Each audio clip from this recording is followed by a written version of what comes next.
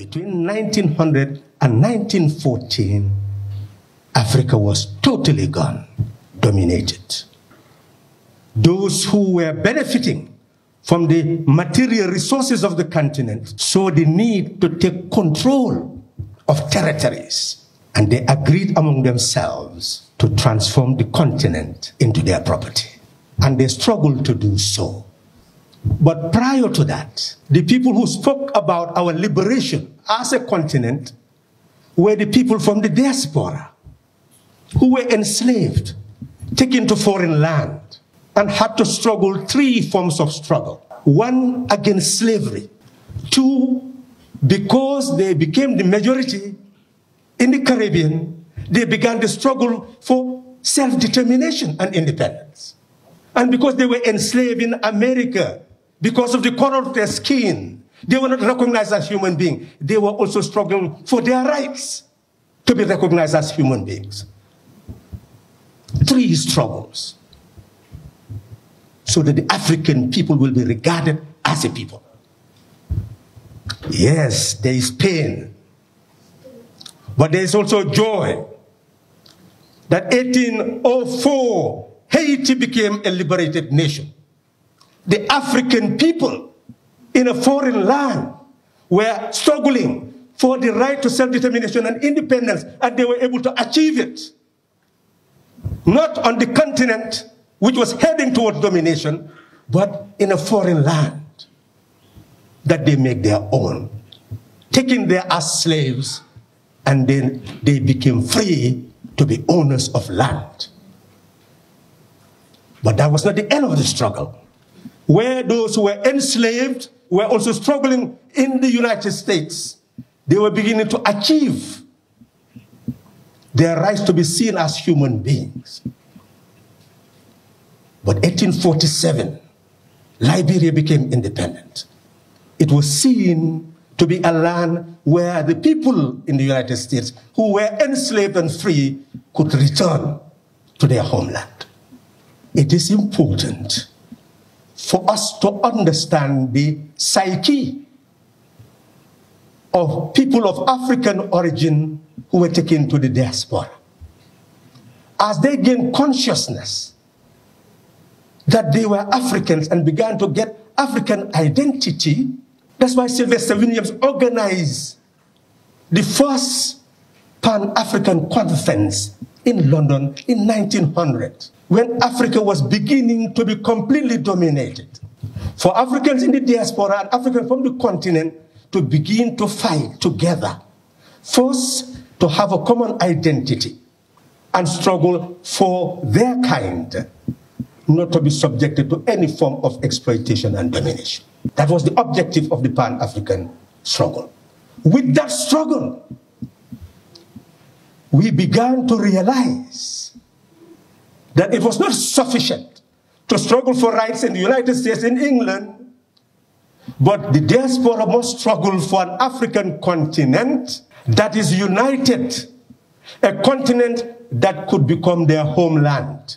Because to them, they were removed from different parts of the continent.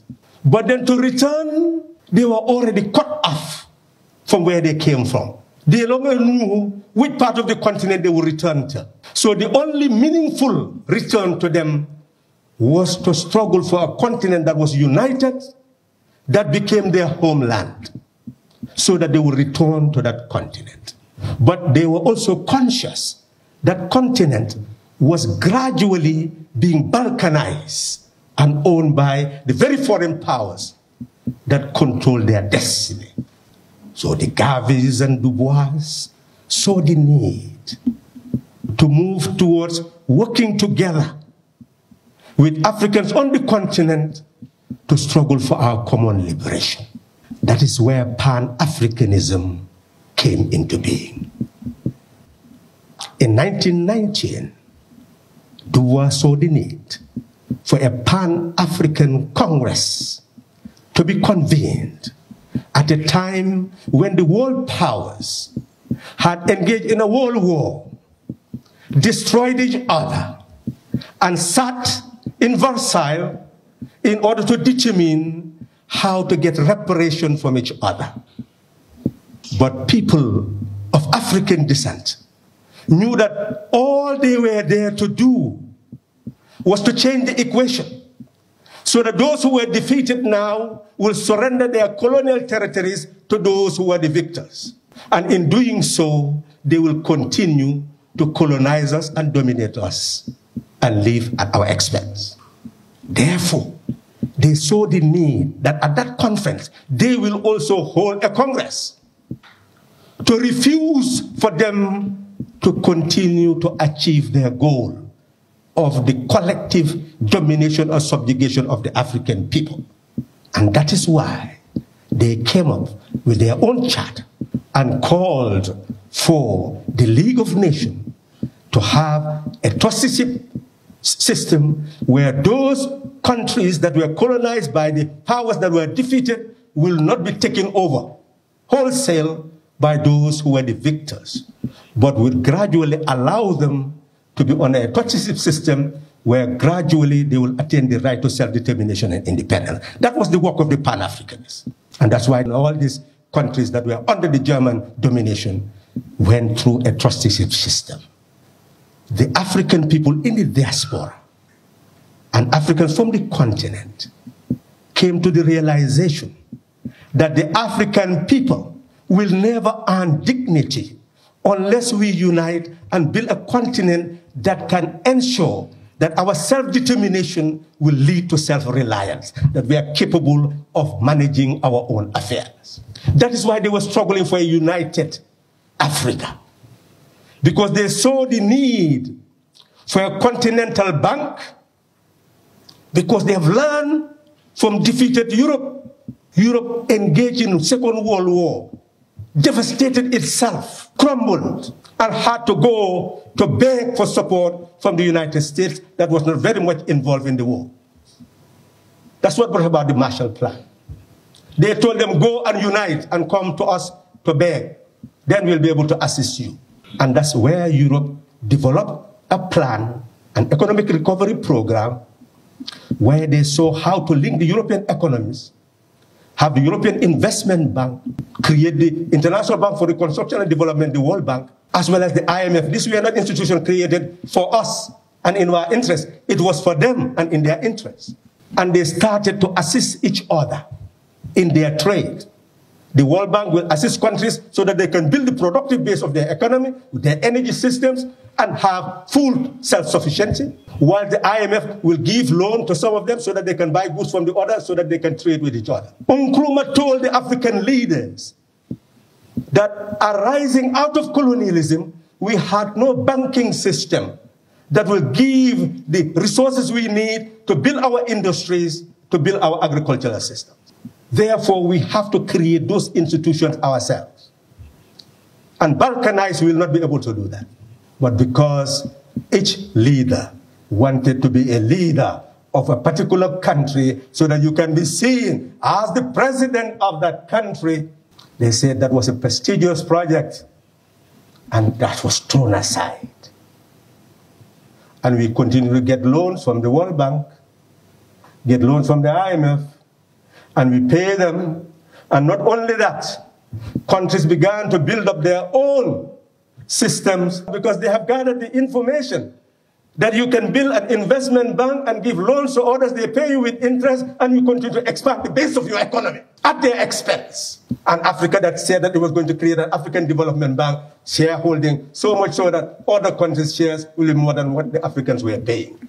That is the problem. The problem is the poverty of the mind. It's not poverty of resources. Which Africa are you struggling to have automatic citizenship of? It does not exist. You have a balkanized Africa, a poor Africa, where you come and you build your family, your house, beautiful, but others will be living in sheds and huts. You think they should welcome you and that they have a grand heart to welcome you. And yes, they do, but they will welcome you to their huts, to one meal a day. And when you see that, you will shed tears instead of laugh and be happy that you are welcome to an Africa, your homeland, your birthplace, your birthright. we have a struggle to wage. We need a transition, a transition where each individual country, collectively as a continent, meeting to know that the diaspora is a place where Africans enslaved were taken to, and they have a right to return. And as the African Union, they must look at each country, their constitutions, all the elements that are essential to agree on a protocol on how to ensure that those who want to return now will be given all the opportunities to be able to do so in any country of their choice. That battle must start. But those people must be conscious that they are returning to a continent where they are ready now to work to rebuild so that they can welcome others who would not want to come and live in huts and see an environment that is not fit for purpose. We have a challenge of destiny and we are yet to address that challenge. Join us together in that search for that new Africa that can only be brought about by a new African conscious that we have a birthright to claim, but a continent to build before that birthright can be meaningful. Thank you.